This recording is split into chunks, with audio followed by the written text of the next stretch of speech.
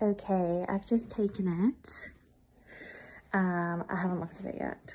So I'm gonna put this here. I don't know if this is gonna be positive or not. I sent it to my friends. hey guys, what do you think of this test? And they like, yeah, I see a line, super faint. Um, go get a proper one. So anyways, I spent money on getting a proper one. I don't think this is positive. I don't know.